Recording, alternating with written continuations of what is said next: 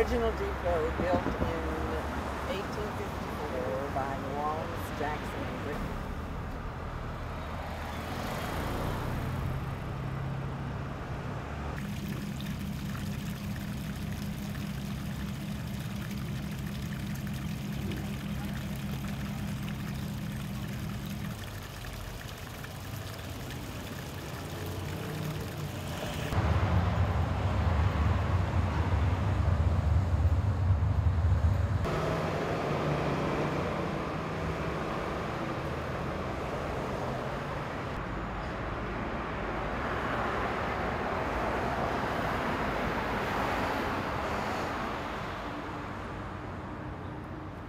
Like everybody asks, like, why don't you move or go to this city or go to a bigger city and get yourself out there? Like you can fit in there, but like I love it here. Like this town's my home. This town has supported me like when I started too in a way. So it's like I don't want to leave them. And then like your community, we do a lot for the community and they do a lot for us. Like we're so close. Like this community is like a big family here in Ponchatoula, and that just wasn't supposed to happen. So I think because my Christian base too, like in a way. Almost, let's see, so 2,400 kids divided by four would be what? Um, 600 per grade. Yeah. Wow. Almost 700 per grade now. That's crazy, and they're getting bigger. They need it.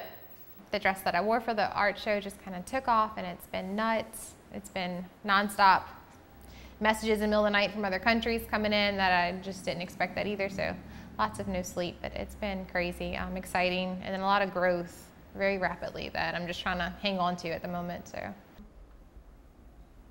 And some of these prints. This one I did post Hurricane Ida.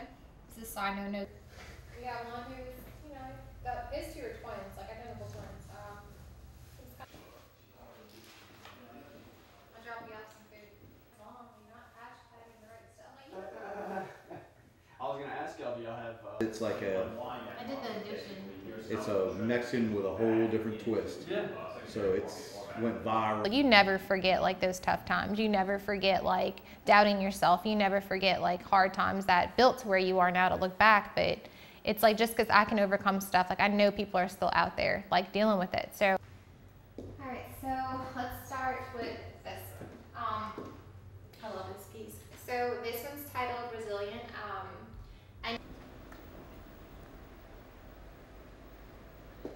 it's like another verification that I feel like I'm supposed to be doing what I'm doing. And like I knew, like I was joking around like with my husband and other people, like, y'all, this dress, like you're picking on me for just doing something I want to do, but it.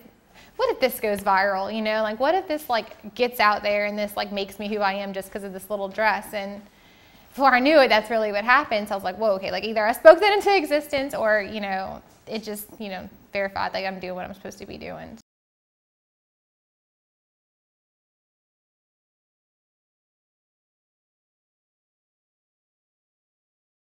This is my Louisiana room. I always have Louisiana art here. Of course, Louisiana is my home. It's where I'm from. I did this release um, last July, but it's kind of what I have left over. But everything here. Yeah, yeah, yeah. Well, I just want to make sure